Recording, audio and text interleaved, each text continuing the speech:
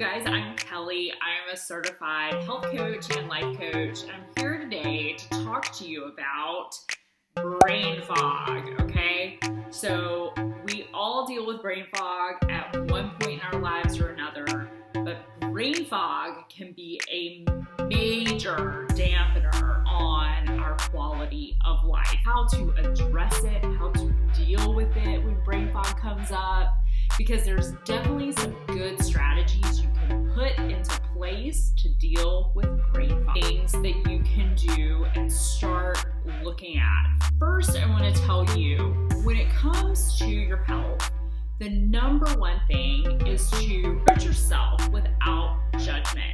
So, if you're one of those people who really beats up on yourself, follow something or a plan that you wanted to do, I'm going to ask you to release that we are going to take a look at ourselves and at our stress levels and things like that. And the best way to approach that is a, from a place of non judgment.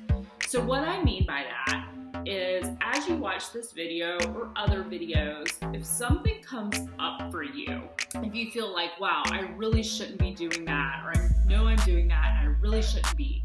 So, instead of beating yourself up, want you to take the approach where you're actually observing, okay, your pattern. Because all we can do is observe our pattern and then change it tomorrow, today. Put it into action as soon as we know better. And there is a lot of self love that goes into that process. So I just want to encourage you with that because it's really easy to listen to advice from people or to understand things about health and to beat ourselves up. I am a person who really has high expectations for myself, so I know firsthand how toxic it can be and how much we need to give ourselves grace in the process and love ourselves because that is what is going to create to brain fog. The number one thing I would say about brain fog is that you need to look at your sugar consumption throughout the day. And when I say sugar, I mean not just like guzzling down white sugar, something like that. I just mean what types of foods are you eating? Are you eating mostly whole foods from the earth? So, like apples, oranges, bananas, Yes, those things have sugar, yes, but there are different types of sugar and your body handles them in a different way. White, refined sugar can contribute to brain fog. So that is definitely something you want to take a look at and see if you have that, a lot of that, in your current eating habits. If you do, it's okay. Just approach the next time you go to the store with an eye of looking for those.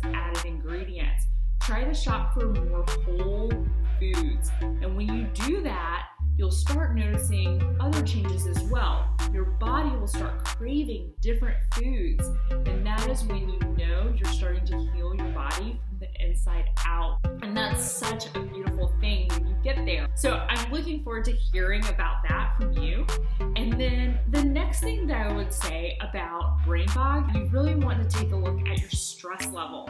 If you're very stressed, if you're always feeling like weighed down and bogged down, even in our current situation with the way things are going and the pace of life is a lot slower, we can still feed our minds with things that are very toxic. The thing that I would say about that for you is to take some time to meditate every day.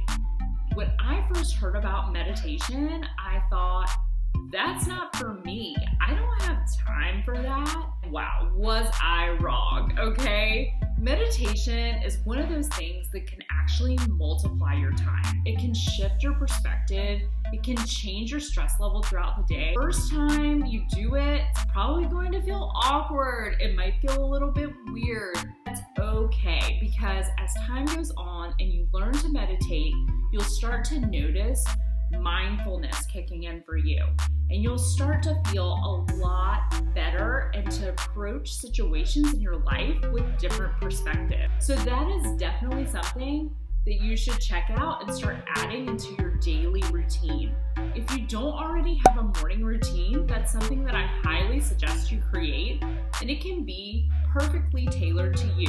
So it doesn't have to look like anybody else's morning routine. It can be as simple as wake up, meditate, have coffee. There's a morning routine. So easy, right?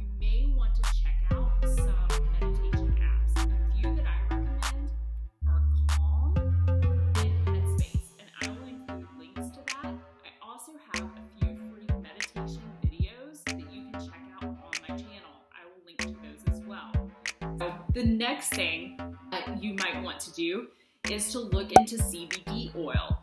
What CBD oil can do is help lower stress and anxiety in your life. And these things are things that can start leading to brain fog as well. So, CBD oil has many, many benefits, but one of those is it can help your brain kind of notch down. If you're used to a very high level of stress, sometimes you need something to help you just recenter and re calm yourself. And that is a really great thing to start looking into. So, those are a few ideas for you to think about eliminating brain fog and to look clarity and perspective. I really hope that these things were helpful for you. I would love to know what you thought. Love to know what you thought. Take the time to subscribe and I will send you a notification every time I post a new video. And I have a lot of great content planned over the next few months. So I can't wait to continue sharing with you and to hear from you on what is helpful for you and what you would like to learn about. Please comment below. Let me know where you're from and what you thought about this video. Can't wait to talk soon.